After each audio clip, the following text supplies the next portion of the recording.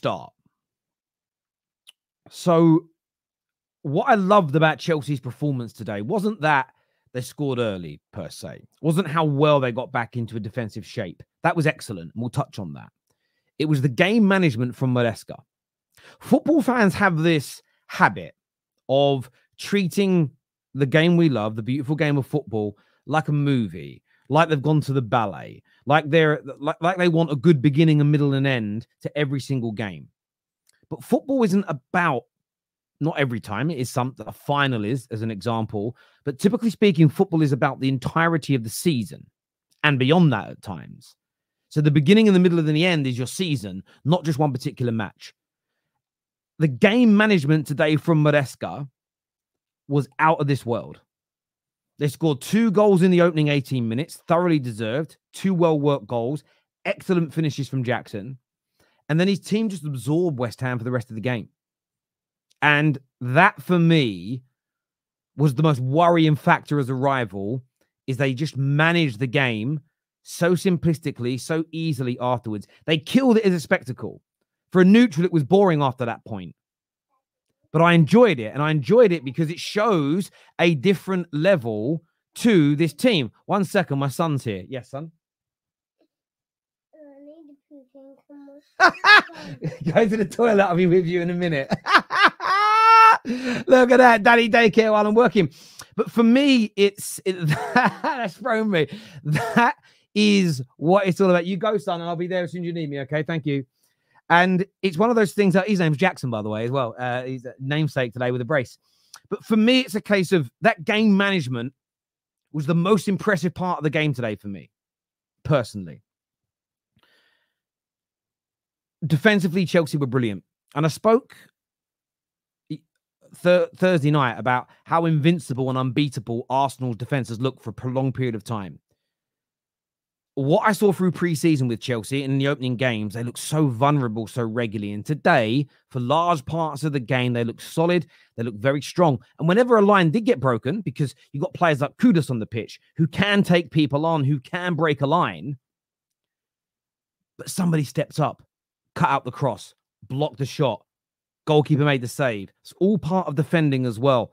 They were absolutely brilliant defensively, I felt, as well. Now, on top of that, on top of that, which I also think is really, really important and key, is to talk about some individual players. And it's one of those things where I look at individual players. Jackson, first of all, gets a lot of criticism. I think that's eight goals since the start of May. He's in a really good run of goal scoring form and deserves absolute credit for how well he performed up front today. Hold up play was good. His finishing was deadly. Chelsea just need to see more of this at the most opportune moments. But what a performance from him. I think Chelsea look an exponentially better team defensively with Tosin at the back. He's a unit as well, good on the ball, I just think they look more comfortable. It would be even better once they get Gusto back in the right back position because Fofana looks lost out there personally. But Tosin, brilliant addition. Enzo Fernandez today, very strong performance from him. Very, very, very good on the ball. I thought Palmer, yes, he was quiet in the first half, but uh, listen, Hassam's prediction that he's going to have a much, much, much worse season GA wise proven wrong. I, I, think he's already been proven wrong. I thought it was excellent from him in, in, in, that side of things. Enzo, for me, Enzo wasn't mid at all. So I thought it was very good. I thought Enzo played very, very well today. Caicedo, wow. That man won nearly every tackle he went in for. He was strong. His passing was good. Obviously, he set up the goal. Everything Caicedo touched today turned to gold. Caicedo was absolutely phenomenal for he today was the player that everybody saw at Brighton. That that today was the epitome of it. Not the first time he's done it for Chelsea, he's done it other times, but he was great. I thought Cucurella, yes, he got taken on a couple of times by Kudus, but Mohamed Kudus can do that to the best fullbacks in the world. Cucurella again, listen, one of the best maybe the only good thing Potts did for Chelsea last year was playing Cucurella in the Carabao Cup when he was almost going on loan to Man United to stop that from happening because I'd love to have this Cucurella playing left back for my club right now, which is an area of weakness for us. I thought he was very, very good as well. Um, I really did. And I might be missing, but look, I thought that Sancho and Madueke, uh, Noni, I thought they did okay today. Um, but it was it's a hard game to judge those two. They went 2 0 up, and Chelsea started to manage the game. And I said earlier, that was key. The one bit I missed about why it was so key is you can't play all games 90 minutes at 100 miles an hour.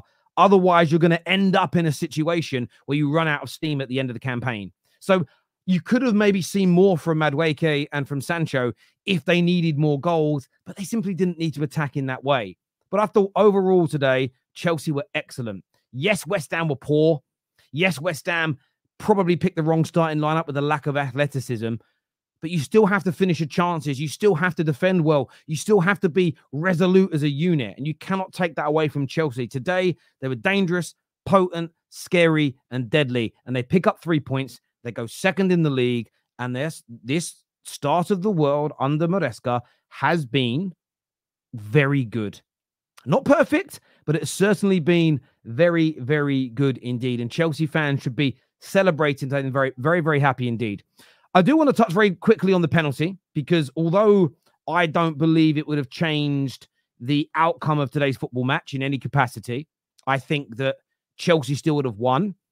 I also think that West Ham should have had a penalty, and I want to call out these poor refereeing decisions, irrespective of who they impact. Chelsea fans that have watched the terrace a long time will remember when you guys were robbed of a clear penalty for a handball. I think it was Soucek or somebody saved it on the floor. Couldn't believe that wasn't given. Today's one bothered me, not because it's Chelsea, not because Chelsea cheated, not because it's Chelsea's fault. So please hear what, where I'm coming from. There is no reason that you should be allowed to grab anybody's wrist for a second, two seconds, three seconds, five seconds, anywhere on the pitch and it not be a foul. It should always be a foul. For me, I, I think that's an horrendous rule of, but how long was he holding on for? All it takes is that split second and you slow a player down. Just literally now, get your friend in your house or your, your missus or your boyfriend to hold your uh, wrist with one hand, try and sprint. Even if you break away from them holding on to you because you're more powerful, you're much quicker when someone's not holding your arm. you know, so I, I did think that was an horrendous decision. I don't think it would have changed the course of the game. I still think Chelsea had so much in reserve, they could have put three or four more goals in. But I do think it's important to still call out these horrendous refereeing decisions, irrespective of the outcome of the game, who won, who lost, because we I think this this should get as much airtime as if it went against Chelsea and Chelsea lost 1-0.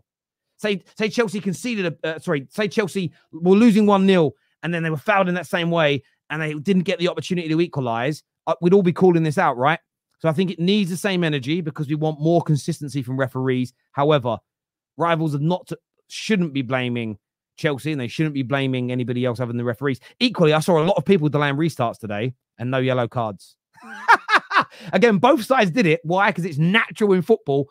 Where was the yellow cards, PGMOL? You morons, you mugs, you charlatans, you cheats. They cheat all of us, irrespective of the color shirt